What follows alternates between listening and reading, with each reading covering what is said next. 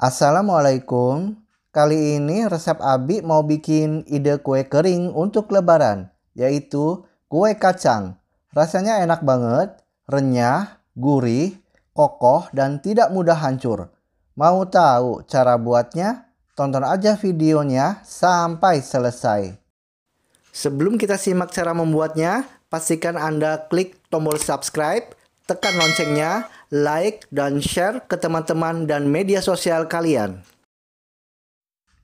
Bismillah.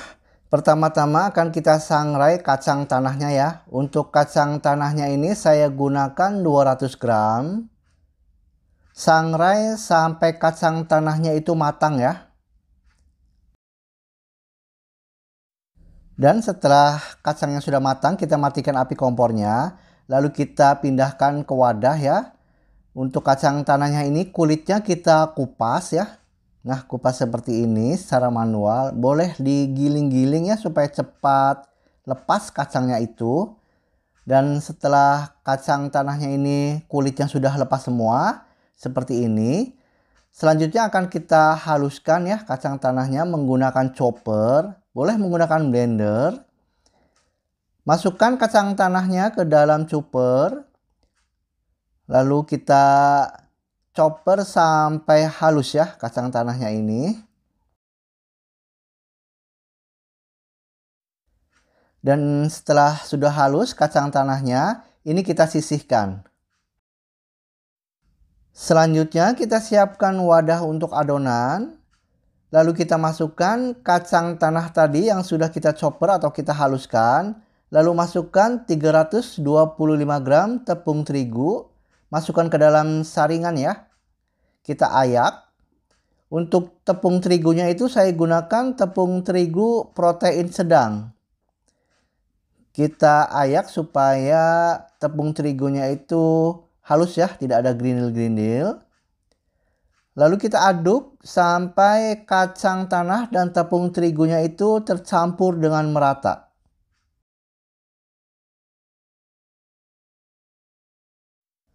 Dan setelah sudah tercampur dengan rata, kita masukkan 150 gram gula halus, masukkan ke dalam saringan ya. Lalu masukkan 25 gram susu bubuk. Masukkan vanili bubuk secukupnya, lalu masukkan garam secukupnya. Kita ayak atau kita saring ya, supaya tidak ada grindil atau gumpalan seperti ini. Lalu kita aduk sampai semua bahan-bahannya itu tercampur dengan merata.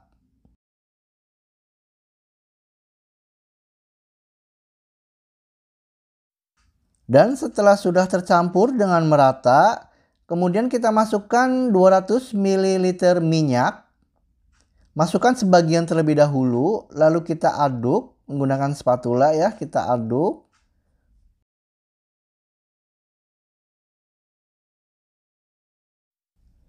Lalu kita masukkan sebagian lagi minyaknya kita habiskan. Lalu kita aduk sampai tercampur rata.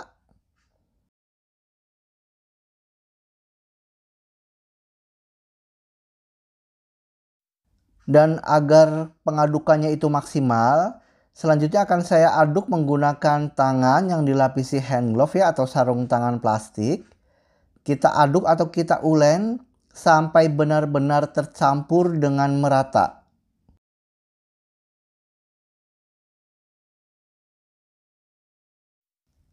Nah, seperti ini pemirsa sudah tercampur dengan merata ya.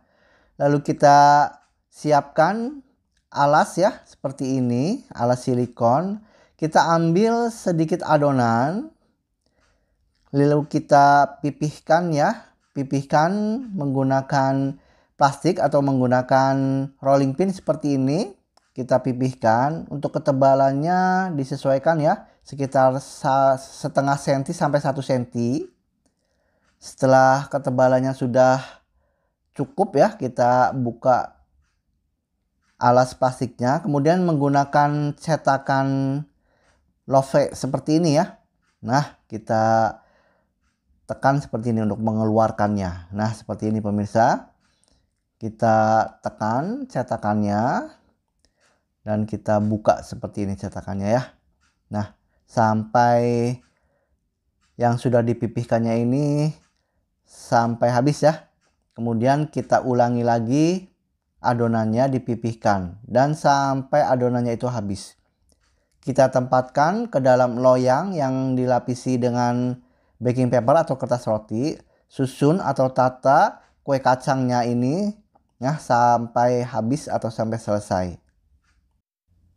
Dan setelah sudah selesai kita siapkan untuk olesannya ya. Siapkan dua kuning telur olesannya itu ya. Dicampur dengan 2 sendok teh minyak. Lalu kita beri pewarna kuning telur ya secukupnya. Secukupnya aja lalu kita aduk sampai tercampur dengan merata. Dan setelah sudah tercampur rata, kita oles kuenya satu persatu menggunakan koas ya. Seperti ini.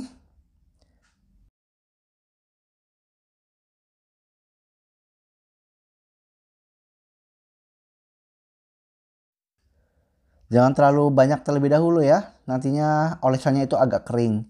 Kita tempelkan dengan kacang almond slice sebagai mempercantik ya. Nah, seperti ini. Lakukan hingga selesai.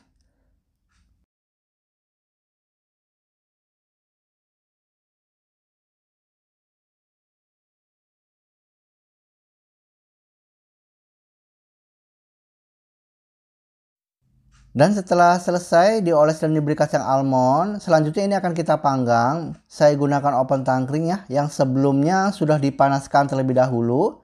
Setelah open tangkringnya sudah panasnya cukup, kita masukkan kue kacangnya, lalu ini kita panggang selama 25 menit. Dan setelah sudah matang dipanggang selama 25 menit, ini kita tunggu sampai agak dingin ya sebelum kita masukkan ke dalam toples. Siapkan toples ukuran 500 gram yang dilapisi dengan kertas seperti ini. Lalu kita susun atau tata ya kue kacangnya ini sampai penuh. Dan setelah sudah penuh ya, lalu kita tutup. Kemudian ini kita lakban atau kita solatif ya supaya tertutup rapat dan tidak mudah melempem. Dan ini kacang tanahnya ini terlihat kokoh ya, tidak mudah hancur, juga renyah. Ini rasanya enak banget, gurih dan wangi kacangnya itu benar-benar terasa pemirsa. Teksturnya juga cantik. Terima kasih pemirsa atas perhatiannya. Sampai jumpa di video saya selanjutnya.